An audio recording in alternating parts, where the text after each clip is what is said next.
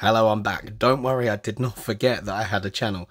Um, I just actually had a weekend off of work for a change, which was it was great. We didn't get away to do what we wanted because a few people got COVID, so we're rearranging that for September. Um, but me and the partner, we decided that we were going to have a weekend of fun anyway. Um, so that's why I haven't been about. I've actually had no time to do anything. Um, apologies if you hear any background noises tonight. It's just because I've got the window open next to me because as you will know, if you're in the UK right now, we're suffering with a bit of a heat wave and humidity, and it's horrible. It's not much better outside because we've had the rain, which means all the heat has come back out of the uh, the tarmac, which isn't great. So it's going to be a horrible night's sleep. But anyway, I digress. Uh, we're talking about Clement Lenglet today. I know you would have already seen that we've signed him, yada yada, fifth signing in. It's absolutely great news. On loan, I'm just going to have a little general chit chat myself about um, a little bit about his background, um, then what he said, and then finish off with what I think of the signing because there's been a few people out there that aren't overly uh, convinced or joyed about it, and I think that's more because of the links to other players. So let's jump into it. Spurs, fifth signing through the door, Barcelona player, Clement Lenglet, 27 year old centre back standing at six foot one, has come in to be competition or to take over um, this season from Ben Davies, who had an astonishing season last season, without a doubt his most consistent, his best season in a Spurs shirt. So not going to knock him, but it is nice for him to have a bit of competition. You know, it's going to be a long season. Players are going to get burnt out. We need somebody that can step in and fill those boots. And I feel these two are going to be healthy competition for one another. And it, it might even take Ben Davies onto another level. Who knows? Um, so it is a loan at the moment. We are told there is no option to buy but I feel like the fee would be fairly cheap anyway at the end of the season, no matter how well he performs, just because Barcelona have a lot of financial constraints. And uh, I'm just realizing in the background, you might be able to see um, just over there, that is Scrappy Doo.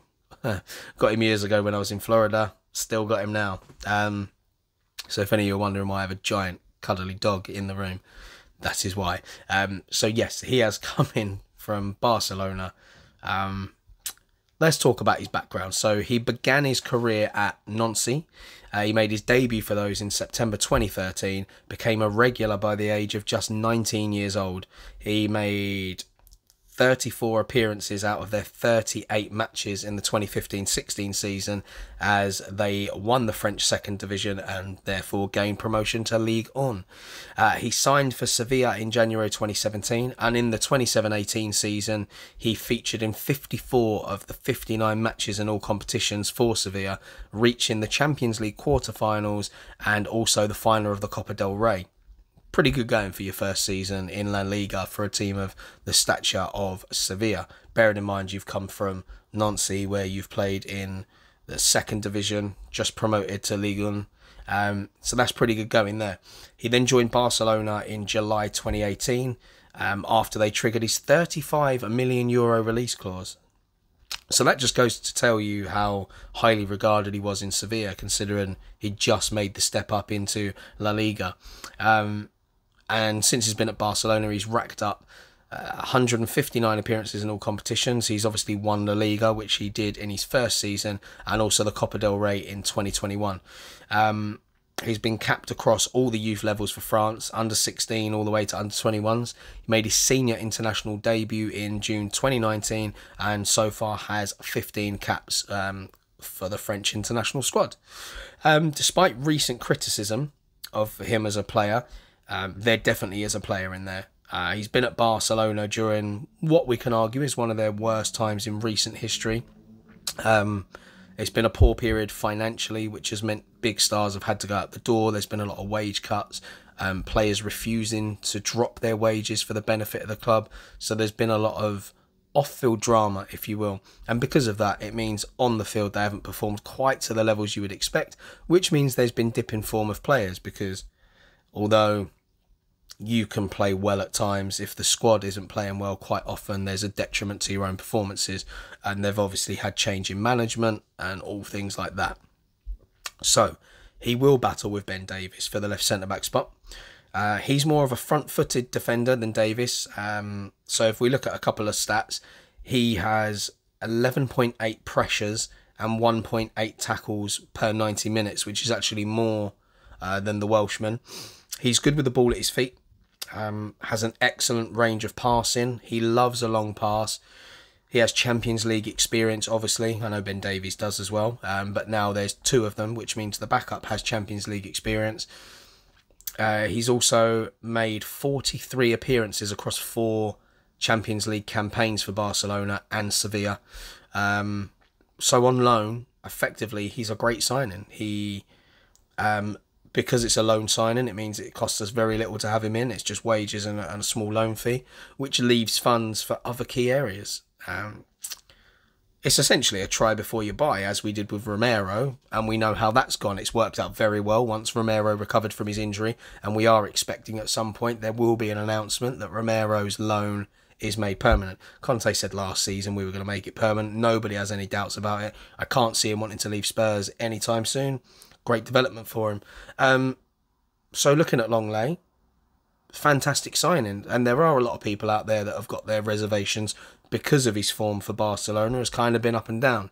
But as I've said, he's he's been in a Barcelona that's been very disrupted in terms of you know big name players leaving. Lionel Messi goes out the door. They've lost over the years. Um, Neymar, Suarez. I mean, what a front three they were. And then you've got contract rebels in there, and there's been a lot of injuries. The change in management and structure. So Lenglet, I think, will be a great addition. Um, he's not gone out onto the preseason tour. Now that's just because um, so he he did his medical. We knew the deal was going to get over the line. They were trying to push it through quicker because they essentially just needed clearance for him to be able to get the visa to travel with the squad. That didn't happen in the time um, that we wanted it to, which means he's been left at home.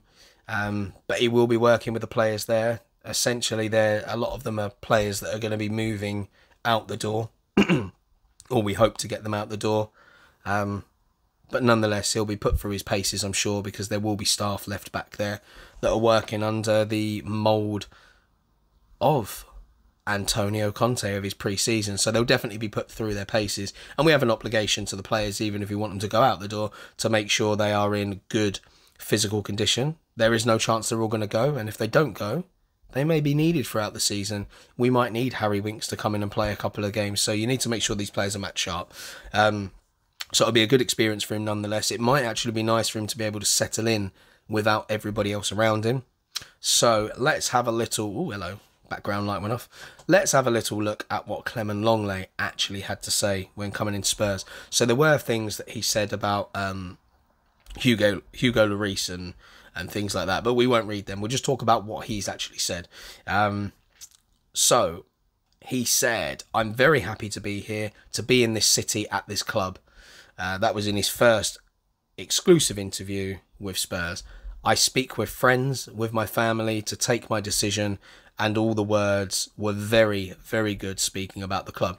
I'm very excited to start the season with my new teammates. New stadium, new city. For me, all is new, but I'm hungry. I want to play. I want to be the best soccer player to help the team to win trophies and fight in all competitions. Now, a little bit of advice for Clement Lenglet. in England, we call it football. We do not appreciate it being called soccer. So, a little one from now on, change it up. He then went on to say, First of all, I want to be a good teammate, to be a defender who can be strong, aggressive, and help the group to win the ball. It is very important, first of all, to be a good defender. After that, a good player and to help the team. Uh, he said he's also excited to work with Antonio Conte. It's a mister who has won a lot of trophies. He has a lot of experience, and for me, it's a beautiful moment to work with the Mister and to learn all he knows about football. Um, asked about his targets for the upcoming campaign, he added, I would like to play a lot of games to win because if you play and you don't win, you are not happy. I want to win a lot of games and to be happy, to fight at the height of the classification. It's a dream. I would like to win a trophy here in Tottenham. Now they're already all very good words. We know a lot of players say similar things when they come in. Um, but yeah, it was it was a nice first interview.